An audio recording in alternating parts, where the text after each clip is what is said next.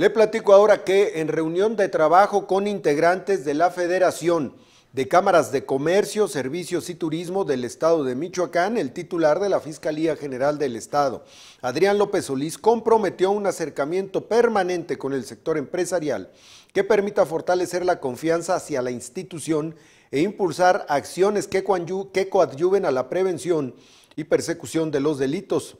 acompañado por integrantes de dicha Cámara Empresarial, entre ellos Carlos Galvez Herrera, vicepresidente de afiliación de la Confederación de Cámaras Nacionales de Comercio, Servicios y Turismo, la CONCANACO. López Solís presentó avances de judicialización de carpetas de investigación por homicidio y subrayó la importancia de trabajar coordinadamente en la prevención de este delito así como el secuestro y la extorsión en su mensaje el fiscal general. Sostuvo que contar con la confianza de cada uno de los sectores de la sociedad es un factor que abona al fortalecimiento institucional. De ahí la importancia de que se mantengan siempre abiertos los canales de comunicación para que cada denuncia presentada, necesidad o gestión que se tenga, se le brinde el seguimiento que se requiere en la investigación y persecución de los delitos, mencionó el funcionario, la cooperación de todos los sectores es importante. En ese sentido, exhortó a promover la denuncia entre sus agremiados y trabajar en el fortalecimiento de alianzas interinstitucionales